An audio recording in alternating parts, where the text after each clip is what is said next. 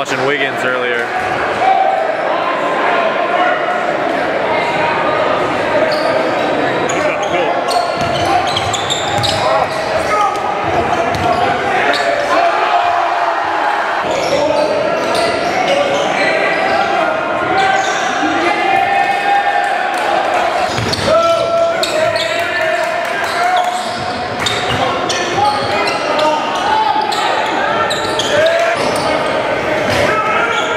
Head on a swivel, head on swivel.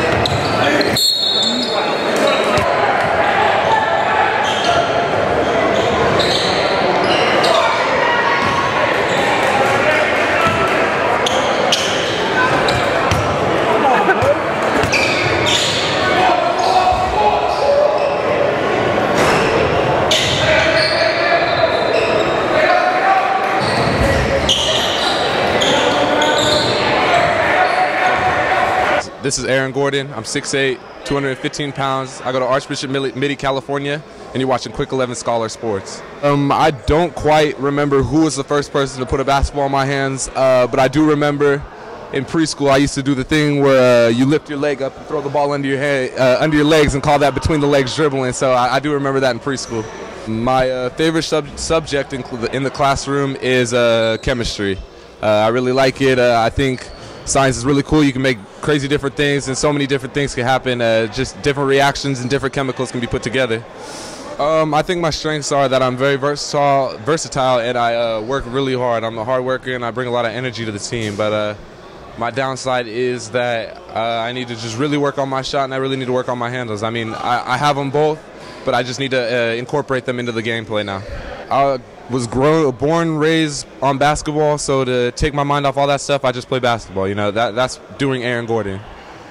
Um, what really made me passionate for basketball was watching highlights of Magic Johnson. So I, I really uh, just appreciate how, how good he played the game and how uh, he kind of orchestrated everything on the court. And I, I, also like to thank my brother and my dad for giving me, or my dad for giving my athleticism, my brother for giving me my competitive spirit.